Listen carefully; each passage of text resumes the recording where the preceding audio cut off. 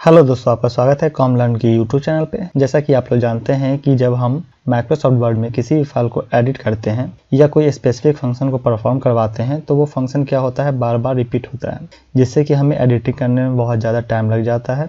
तो इस वीडियो में हम यही जानेंगे कि हम किसी फ़ंक्शन को बार बार यूज़ ना करके हम एक ही बार में वो सारे फ़ंक्शन को कैसे इजली यूज़ कर सकते हैं। तो जैसा कि मैं आपको एक एग्ज़ाम्पल के थ्रू समझाऊँगा तो मैंने एक यहाँ पे रिज्यूमे का फॉर्मेट लिया है। अब मैं इसमें क्या चाहता हूँ कि मैं इस पर कोई बोल्ड का फ़ंक्शन परफॉर्म करवाऊँ, या फिर यहाँ पे मैं कलर चेंज करवाना चाहता हूँ। यहाँ पे मैं कोई भी फॉन्ट ले लेता हूँ, और मैं यहाँ पे अंडरलाइन यूज़ करना चाहता हूँ। तो अब यहाँ पे देखते हैं कि हमको क्या करना पड़ता है। बारी बारी से हर एक फ़ंक्शन को सिलेक्ट करना पड़ रहा है। अब हम क्या करेंगे कि इन सारे फ़ंक्शन को हम एक साथ यूज़ करेंगे। तो इसके लिए आपको क्या करना होगा? पहले मैं इसको हटा देता हूँ।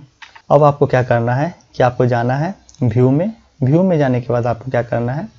मैक्रोज को सिलेक्ट करना है और यहाँ पे आपको रिकॉर्ड मैक्रो सेलेक्ट करना है। यहाँ पे आपको आता है मैक्रो नेम तो मैक्रो नेम में यहाँ पे आपको नाम देना है।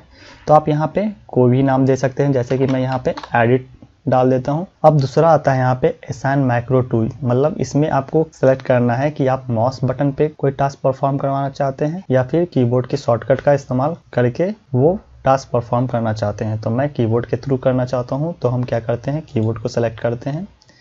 और यहाँ पे अब क्या करना है कि आपको शॉर्टकट देना है। शॉर्टकट लेने के लिए आपको क्या करना होगा जो भी आप शॉर्टकट बनाना चाहते हैं, उन सारे बटन को एक साथ आपको प्रेस करना है। तो जैसे कि मैं यहाँ पे कंट्रोल प्लस क्यू का इस्तेमाल करना चाहता हूँ तो कंट्रोल प्लस क्यू का इस्तेमाल कर लिया। अब नीचे में यहाँ पे आता है करेंटली असाइन टू मतलब इसका मतलब ये होता है कि ये जो शॉर्टकट है, ये पहले से असाइन है किसके लिए? रिसेट पारा के लिए। तो आप चेंज भी कर सकते हैं या फिर इसी शॉर्टकट का आप इस्तेमाल भी कर सकते हैं। तो मैं इसी शॉर्टकट का इस्तेमाल करूँगा। अब आपको क्या करना है? असाइन पे क्लिक करना है। अब ये क्या हो गया? आपका असाइन हो गया। अब इसको आपको क्या करना है? क्लोज कर देना है। क्लोज करने के बाद अब आप जिस भी टेक्स्ट पे जो फ़ंक्शन यूज़ करना चाहते हैं, बस आपको क्या करना है? उसको सिलेक्ट कर लेना है। अब आपको जहाँ से भी जो फ़ंक्शन को परफॉर्म करवाना है, आप उसको यूज़ कर लीजिए। जैसे कि मैं बोल्ड का इस्तेमाल करना चाह रहा था, फिर मैं यहाँ से कलर चेंज करना चाह रहा था। उसके बाद मैं यहाँ पे अंडरलाइन चाहता हूँ, यहाँ से मैं फॉन्ट भी चेंज करना चाहता हूँ, और उसके बाद यहाँ से मैं फॉन्ट का साइज़ भी चेंज करना चाहता हूँ। ठीक? ये सारे फ़ंक्शन को मैंने एक साथ सेलेक्ट कर लिया। अब आपको क्या करना है कि यहाँ से फिर व्यू में जाना है और आपको क्या करना है? मैक्रोज में आने के बाद स्टॉप रिकॉर्डिंग कर देना है। ये आपका स्टॉप हो गया।